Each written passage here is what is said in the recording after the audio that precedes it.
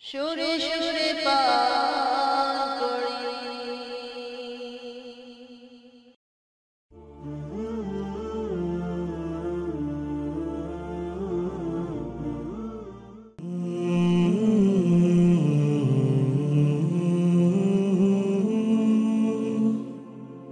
أعوذ بالله من الشيطان الرجيم আশ্রয় সাহিক আমি আল্লাহর কাছেতে অভিশপ্ত শয়তানেরই খপ্পর হইতে। বিসমিল্লাহির রহমানির রহিম। আশ্রয় সাহিক আমি আল্লাহর কাছেতে অভিশপ্ত শয়তানের খপ্পর হইতে। আরম্ভ করিতেছি আমি নামেতে আল্লাহর পরম করুণাময় নামটি যাহার। যখন আমরা কোরআন তেলাওয়াত করব, কোরআনের ষাটটি হকের দিকে আমরা লক্ষ্য করব। ষাটটি হকের মধ্যে প্রথম হলো তেলাওয়াত।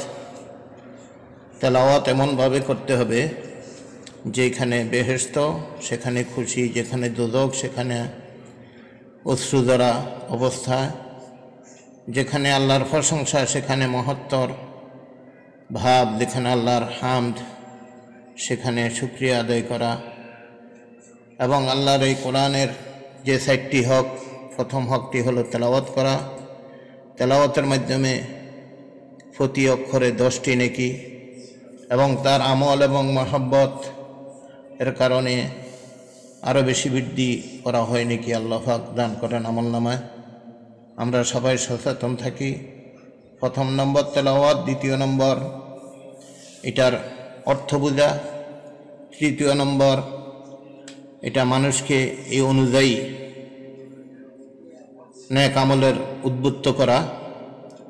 এবং ন্যাক কাজের উদ্বুদ্ধ করা, এটার সম্বন্ধে অবহিত করা। চার নম্বর হলো, এ অনুযায়ী আমল করা।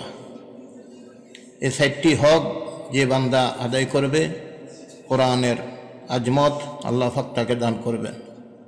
এবং তার ভিতরে আমলের জুতি বেড়ে যাবে এবং নূর, ফয়দা হবে। আল্লাহ হক আমাদেরকে এই কোরআনের আমলগুলা কোরআনের যেই হকগুলো এগুলো আদায় করার তৌফিক সকলকে দান করেন আমিন বিসমিল্লাহির রহমানির রহিম يا أيها الذين آمنوا كتب عليكم القصاص في القتلى الحر بالحر والعبد بالعبد والأنثى بالأنثى فمن أوفي له فمن عفي له من أخيه شيء فاتباع بالمعروف وأداع إليه بإحسان ذلك تكفيف من ربكم ورحمة فمن اعتدى بعد ذلك فله عذاب عليم. ولكم في القصاص حياة يا أولي الألباب لعلكم تتقون. كتب عليكم إذا حضر أحدكم الموت إن ترك خيرا الوصية للوالدين والأقربين بالمعروف حقا على المتقين. فمن بدله بعدما سمعه فإنه اسمه على الذين يبدلونه. إن الله سميع عليم. فمن خاف من موس جنفا أو إثما فأصلح بينهم فلا إثم عليه. إن الله غفور رحيم.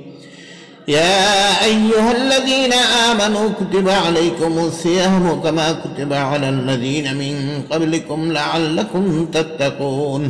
أياما معدودات. فمن كان منكم مريضا أو على سفر فعدة من أيام أخر. وعلى الذين يطيقونه فدية طعام مسكين. فمن تطوع خيرا فهو خير له وأن تصوموا خير لكم.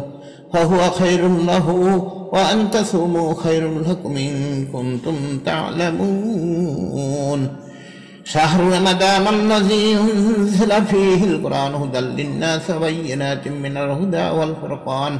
فمن شهد منكم الشهر فليصمه.